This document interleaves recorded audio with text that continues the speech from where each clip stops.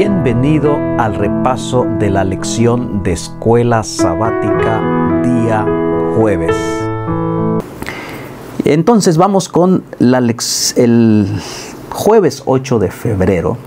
Muy bien, ya avanzamos. Jueves 8 de febrero.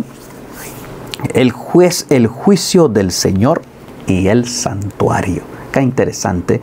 Dice, lee Salmo 96 6 al 10. Voy a leer estos salmos y el 132, 7 al 9.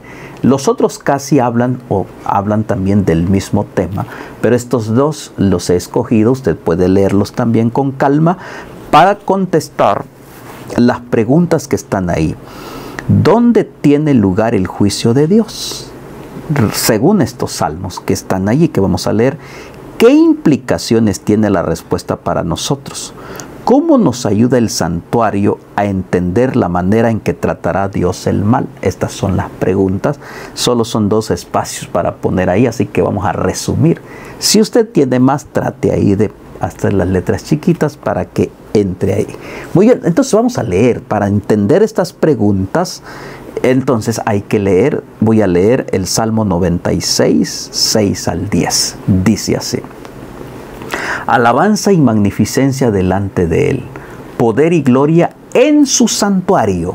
Tributada a Jehová, o oh familia de los pueblos, dada a Jehová la gloria y el poder. Versículo 8, dada a Jehová la honra de vida a su nombre. Traed ofrendas, venid a sus atrios. 9. Adorad a Jehová en la hermosura de la santidad. Temed delante de él toda la tierra Versículo 10, decide entre las naciones Jehová reina, también afirmó el mundo, no será conmovida, juzgará a los pueblos en justicia. Es, el, es uno de los salmos que están allí y nos, nos habla acerca del juicio, de dónde viene, ¿verdad? ¿Cuál es el lugar? Y ahí menciona el santuario. Vamos a leer Salmo 132, 7, 9 dice así, entraremos en su tabernáculo, está hablando del santuario, nos postraremos ante el estrado de sus pies. Versículo 8, levántate, oh Jehová, al lugar de tu reposo, tú y el arca de tu poder. Tus sacerdotes se vistan de justicia y se regocijen tus santos. Muy bien. Entonces, ¿de dónde, eh, la, para contestar ahí, de dónde tiene lugar el juicio de Dios? En el santuario. Así de sencillito, en el santuario. Y dice ahí, dice, ¿qué implicaciones tiene eh, para nosotros? ¿Dónde tiene, que, para nosotros, cómo nos ayuda el santuario a entender la manera en que tratará Dios el mal? ¿Cómo lo vamos a entender? El santuario en el Antiguo Testamento tenía un propósito. usted sabe que estaba dividido el lugar santo y el lugar santísimo. Al lugar santísimo el sacerdote entraba una vez al año en el día del Yom Kippur, en el día de la expiación, donde todo el pueblo tenía que prepararse delante de Dios, tener que prepararse diez días antes, pedir perdón e ir a esa ceremonia tan especial porque el sacerdote iba a entrar a expiar los pecados de todo el pueblo. Así que todo el pueblo prestaba atención. Era una vez que el sacerdote entraba al lugar santísimo para rociar ahí en el lugar santísimo estaba el arca del pacto, símbolo de la presencia de Dios, estaba el propiciatorio allí, ahí en el arca del pacto. En el arca del pacto estaban los diez mandamientos y la vara de Aarón. El juicio tenía que ver con juicio. Así que todo el pueblo estaba tan listos esperando ese día. Ese día había que sacrificar al Señor y que el sacerdote era el intermediario. Entonces el sacerdote entraba y si no pasaba nada y ofrecían el sacrificio y todo terminaba tranquilo sin que el sacerdote muriera, es decir, la ofrenda había sido aceptada y los pecados habían sido perdonados, borrados de todo el pueblo.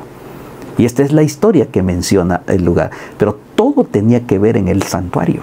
Así que todo el pueblo, todas las, el pueblo entonces, el santuario era el punto central.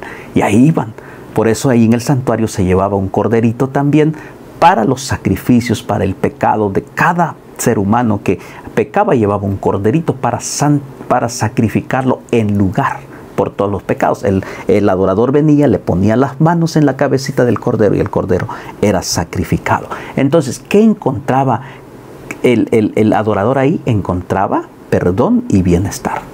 Así que querido hermano, el santuario celestial, en el santuario está Cristo nuestro Redentor y Él está ministrando y encontramos con toda seguridad en el santuario perdón, bienestar espiritual, vida eterna, salvación. Así que hermanos, usted por eso dice Hebreos, dice, venga con toda confianza, porque nuestro sumo sacerdote Cristo está intercediendo. Él es nuestro sumo sacerdote. Qué mensaje de esperanza. El santuario fue designado como el lugar del juicio divino, como así se indicaba. Y también el propósito del santuario es que Él iba a habitar entre el pueblo. Y pero Dios quería que entendieran que Él estaba interesado en la salvación y en la restauración de cada israelita que había cometido pecado y los sacerdotes cumplían una función muy especial. Allí el sumo sacerdote que entraba una vez al año. Entonces, por consiguiente, el santuario es el lugar del perdón del pecado y la restauración de la justicia, como indica en el propiciatorio del trono de Dios y los sacrificios de, de justicia.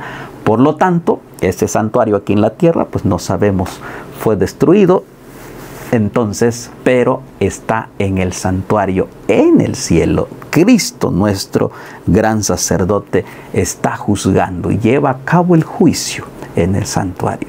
Pero tenemos que tener esa plena confianza de venir delante de Él, pedirle perdón, porque Él es nuestro sustituto. A través de su sangre, cordero que fue sacrificado, que fue inmolado, ahora Él murió en lugar de nosotros, derramó su sangre como un cordero fue llevado al matadero y delante de sus trasquiladores enmudeció y no abrió su boca con tal de darnos el perdón. Encontramos entonces en el santuario perdón. Cristo intercede por ti y por mí. Por lo tanto, el juicio del Señor de Esteción trae como resultado el bienestar de los justos y la derrota de los impíos. ¡Qué bendición! Bienestar de los justos y derrota del impío, porque no quiere reconocer a Jesucristo como su único sacerdote. Entonces, Ah, Romanos 8:34, ¿cómo nos muestra este versículo lo que Cristo está haciendo en el santuario celestial? Es una buena noticia buenas noticias. Por eso Él dice confiadamente al trono de la gracia, venid luego y estemos a cuenta. Jesús mismo dice, venid todos los que estáis trabajados y cargados y os haré descansar, bienestar espiritual, descanso espiritual en Cristo Jesús. Así con toda confianza, ve al trono de la gracia para hallar oportuno socorro.